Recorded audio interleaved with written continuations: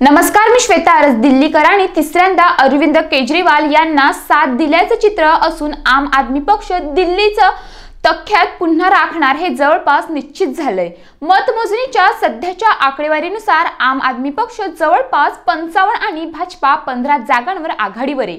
यावरून भाजपाच्या दिल्लीमधून पराभव होणार असल्याची चिन्हे दिसताच शिवसेनेने भाजपावर निशाणा साधलाय. शिवसेनेचे नेते अनिल परब यांनी भाजपाच्या अहंकाराचा दिल्लीमध्ये पराभव झालाय अशी बोचरी प्रतिक्रिया दिली आहे तसेच महाराष्ट्र शिवसेनेने घेतलेल्या भूमिकेचा दिल्लीत परिणाम दिसतोय. असंही ते म्हणाले दिल्लीतील जनतेने विकासालाच मत दिलं. दिल्लीकरांनी पुन्हा एकदा पंतप्रधान नरेंद्र मोदी केंद्रीय गृहमंत्री अमित शहा यांना पर्यायाने भाजपाला नाकारले. हा पराभव म्हणजे भाजपाच्या अहंकाराचा पराभव आहे. भाजपाच्या हातातून आता अनेक प्रदेश निसटलेत. वनसेनेमुळे देशातील राजकारणाला वेगळे वळण मिळाले अशी प्रतिक्रिया परब यांनी दिली आहे देशद्रोहाचा मुद्दा या निवडणुकीत गाजलाय. त्यावर अनिल परब म्हणाले की देशद्रोहाची व्याख्या कोणा एकाने ठरवून चालत नाही.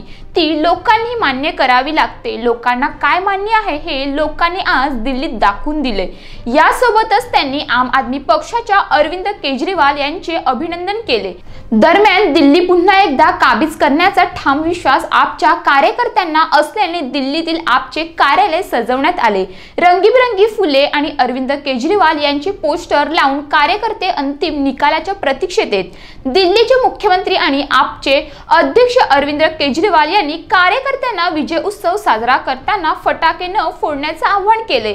तर मतमोजणीला सुरुवात होईपर्यंत विजयाचा दावा करणाऱ्या भाजपाच्या दिल्लीतील कार्यालयात विजयामुळे आम्हाला गर्विष्ट होत नाही आणि पराभवामुळे आम्ही निराश होत नाही असा संदेश असलेले गृहमंत्री अमित शहा यांचे पोस्टर लावण्यात आले.